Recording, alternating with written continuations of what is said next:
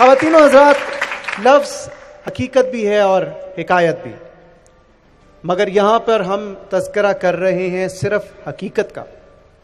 ذکر کر رہے ہیں ان دلیر نوجوانوں کا جو اصغر خان اور ایم ایم عالم کا عکس ہیں، جو یونس اور بھٹی کا امتزاج ہیں، جو رفیقی اور منہاس کی میراث کہلاتے ہیں۔ خواتین و حضرات، چیتے کا جگر رکھنے والے ان دلیر ہوا بازوں کا استقبال، جو اس عظیم کارنامے کے شایان شان ہی کیجیے گا۔ آپ کی بھرپور تالیوں میں استقبال کیجیے۔ ابھی نندن کا جہاز مار گرا کر ستارہ جرت پانے والے ونگ کمانڈر نعمان علی خان اور سو تھرٹی جیسا جدید ترین طیارہ گرا کر تمغہ جرت پانے والے اسکواڈرن لیڈر حسن صدیقی کا۔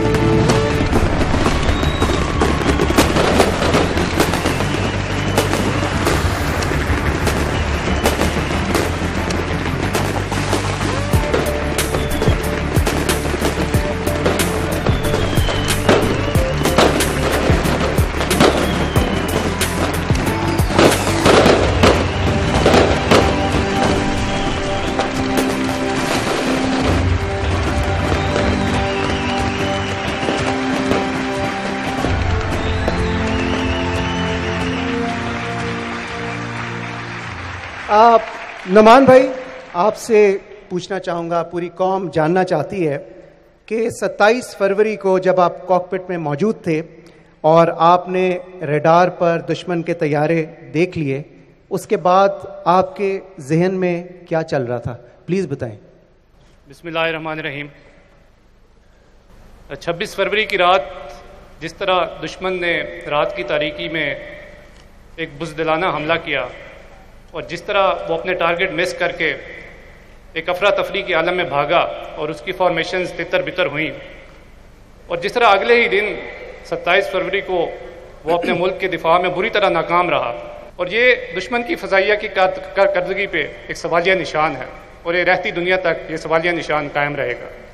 چھبیس فروری کو جو ان کی پلاننگ تھی اور ستائیس فروری کو جو ہم نے کیا، اس میں بڑا فرق تھا۔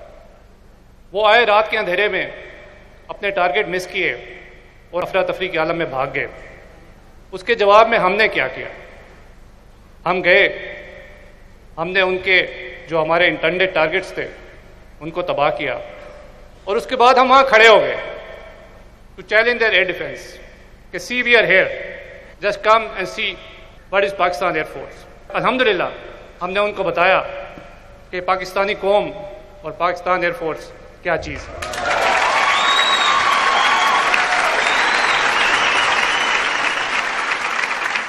اور آپ یقین کریں کہ اس وقت جو میری فارمیشن تھی اور جس طرح میرے شاہین میرے ساتھ تھے تو اس وقت ہوا میں میرے ذہن میں اقبال کا وہ شعر گونج رہا تھا کہ جھپٹنا پلٹنا پلٹ کر جھپٹنا لہو گرم رکھنے کا ہے ایک بہانہ۔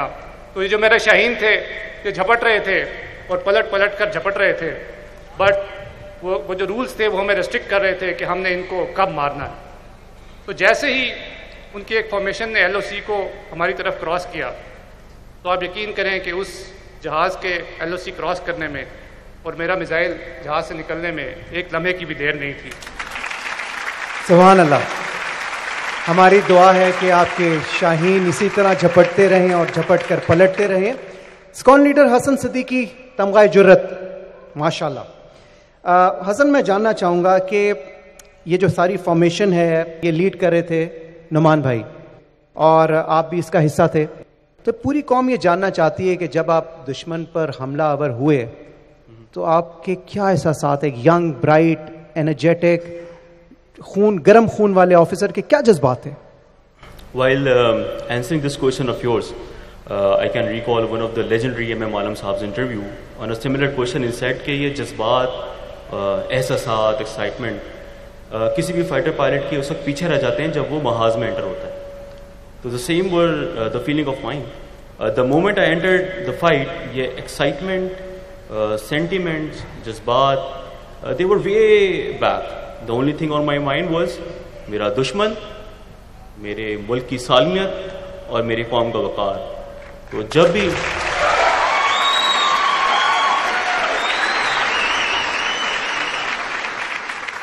اور جب بھی کوئی دشمن میرے ملک کی سالمیت یا قوم کے وقار کی طرف دیکھے گا تو اس کا وہی حال ہوگا جو اس دن ان دو جہازوں کے ساتھ ہوا۔